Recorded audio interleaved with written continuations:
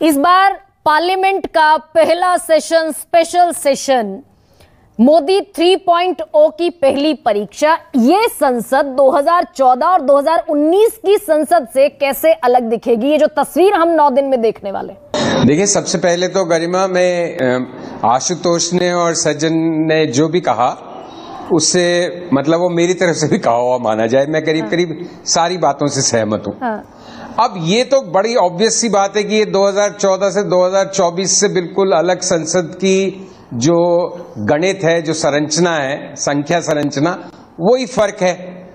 वो तो काफ़ी कुछ चीज़ें फ़र्क होनी चाहिए। बस मुद्दा ये है कि क्या प्राइम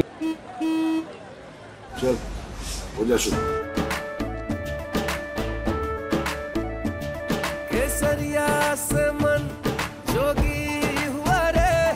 दिल झूमे देखो पतवारा हुआ रे। दिल झूमे देखो पतवारा हुआ रे। हर पल मनाओ केसरी त्योहार। विमल बोलो जुमा केसरी। मिनिस्टर मोदी और अमित शाह जी क्या इस नई संख्या से सहज हुए हैं कि नहीं हुए? हैं क्योंकि अब तक तो ऐसा नहीं लगता है कि वो बहुत सहज हुए हैं। बट ये भी बात सही है कि वो कितने सहज है कि असहज है उसकी असली परीक्षा या उसकी असली जानकारी हमें 24 जून से शुरू होने वाले संसद सत्र में ही देखी। कि मंत्रिमंडल जिस तरह से बना बीजेपी का मंत्रिमंडल। आशुतोष जैसे कह रहे थे कि उन्होंने तो कभी बीजेपी की सरकार भी नहीं चलाई है उन्होंने तो हमेशा मोदी सरकार चलाई है। गुजरात 2002 से लेके 2024 तक तो ये बड़ी चुनौती है कि भाई आपके पास 240 हैं। आप एनडीए के जो पार्टनर्स हैं प्रमुख जेडीयू और टीडीपी उसको कितना साथ लेके चलते हैं? क्या सिर्फ़ उनको फाइनेंशियल पैकेज और क्या जैसे लोग बात करते हैं कि उनसे कह दिया गया है या उनसे ये अंडरस्टैंडिंग हो गई है कि आप अपनी स्टेट्स की तरफ़ ध्यान दीजिए। उसके लिए जो चाहिए हम पूरी तरह आपके साथ हैं। केंद्र में और दिल्ली में संसद में क्या राजनीति होनी है इससे आप दखल अंदाजी नहीं करें राज्य में हम नहीं करेंगे। हाँ। क्या सच में ऐसी अंडरस्टैंडिंग हो गई है? और क्या सच में टीडीपी वगैरह इसको स्वीकार कर चुके हैं? तो मेरे ख्याल से सबसे बड़ी चुनौती तो इस सत्र की एक्चुअली स्पीकर का चुनाव है। और ये पहली तस्वीर इस के तौर चुनाव पर दिख में जाएगी क्या? संजीव जी पहली क्योंकि बात हो रही है डेप्यूटी स्पीकर की। सत्रहवीं लोकसभा में डेप्यूटी स्पीकर का पद किसी को नहीं दिया गया। विपक्ष ताकत में नहीं था, आवाज़ नहीं उठा पाया, आवाज़ उठा भी पाया तो सुनी नहीं गई। तो जिस बात की अकोमोडेशन की आप चर्चा कर रहे हैं, क्या दिखेगा, क्या अगर डेप्यूटी स्पीकर बना पाई सत्तारूढ़ सरकार, ये पहली झलक होगी क्या? कितना रिस्पेक्ट मिलेगा विपक्ष? देखिए देखिए डेप्टी स्पीकर का मुद्दा बहुत महत्वपूर्ण है लेकिन स्पीकर के मुद्दे से कम महत्वपूर्ण है गरिमा। हाँ, हाँ। क्योंकि बात बड़ी क्लियर है अब तक जो स्पीकर के मुद्दे पे बयानबाजी आ रही है उसमें जेडीयू का तो बयान आ चुका कि हम बीजेपी के कैंडिडेट को समर्थन देंगे। टीडीपी की तरफ़ से हमेशा ये बयान आया है कि स्पीकर एनडीए का होगा। तो पहला टेस्ट तो स्पीकर ही है मेरे हिसाब से।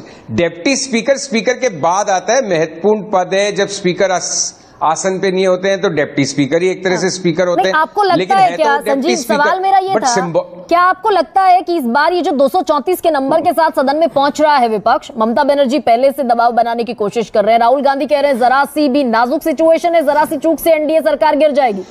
तो क्या इस बार डेप्यूटी स्पीकर का पद जो पाँच साल खाली रहा मिलता दिखेगा विपक्ष को? मैंने कहा ना आपको कि मेरे हिसाब से वो सेकंड मुद्दा है। हाँ, हाँ, लेकिन अगर पहले मुद्दे पे बीजेपी टोटल अपनी चलाती है तो क्या पता डेप्टी स्पीकर के मुद्दे पे भी वो नहीं कोई समझौता करें। हाँ। क्या पता डेप्टी स्पीकर का पद भी विपक्ष को नहीं दे। अब ये सब इस बात पे निर्भर करता है जैसे सज्जन कह रहे थे कि विपक्ष एक्चुअली जो उसको मैंडेट मिली है एक मज़बूत विपक्ष की। एक तो मुझे ये नहीं लगता कोई सरकार गिरने वाली है आज कल परसों छह महीने साल। भाई 240 एक बड़ी संख्या है। और 240 के साथ जो उनके घटक दल है एनडीए के वो मिलके दो सौ तिरानवे चौरानवे हो रहे हैं तो कोई मैंडेट ये भी नहीं आई है कि सरकार नहीं चलने दी जाए। ठीक बात। मैंडेट ये है कि सरकार एक डेमोक्रेटिक गवर्नमेंट की तरह चले और एक मज़बूत विपक्ष को हैंडल करे। अब उसमें भी जो सरकार का मैसेज है ना देखिए parliamentary affairs minister Kiren Rijiju को बनाया गया है। जो अच्छे स्वभाव के मृदभाषी हैं लेकिन पॉलिटिकल लाइट वेट है।